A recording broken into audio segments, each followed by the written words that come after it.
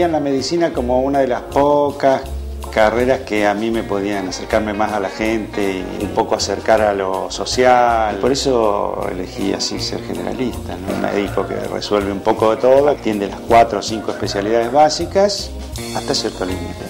Y lo otro que te da la medicina general es esta visión de los problemas que van mucho más allá del bichito que causa la enfermedad, sino de otras situaciones sociales y del entorno que causan las enfermedades.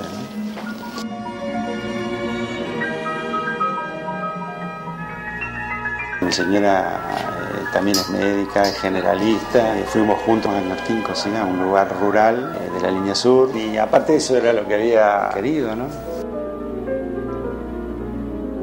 Uno ve más crisis de alimentación acá que en el campo.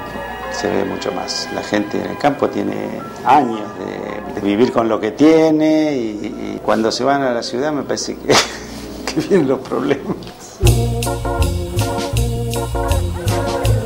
Lo que sí estoy seguro que cualquier enfermedad tiene muchísima más resonancia y se da mucho más por el hecho de ser pobre que, otra cosa. Eh, en estos barrios como ser hoy nos atraviesa una situación grave de violencia, desde la violencia de género hasta la violencia callejera, la barra. Nosotros tenemos que ver mucho con eso desde el punto de vista de la salud. Eso es salud, digamos, no, es violencia y represión de la violencia y un problema de la justicia es un problema de la salud también.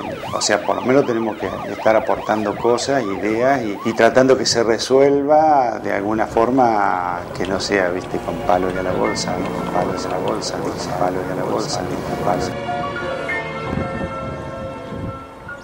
Realmente la cosa va a cambiar cuando los cambios sociales se den de forma importante, si no, viste, son todos palos. Y cambios importantes, una mejor distribución de la riqueza, seguro. Yo tengo un hermano desaparecido eh, que iba a rendir la última materia de medicina ¿eh? Mi señora tiene su hermano también desaparecido y su cuñada. Esas cosas en lugar de separarte te, aferran más, ¿no? Y un día mi señora, que es un espectáculo, me regaló una moto. Sí, nos pagaron tantos bonos, ¿viste? Que dijo, amontonó bonos y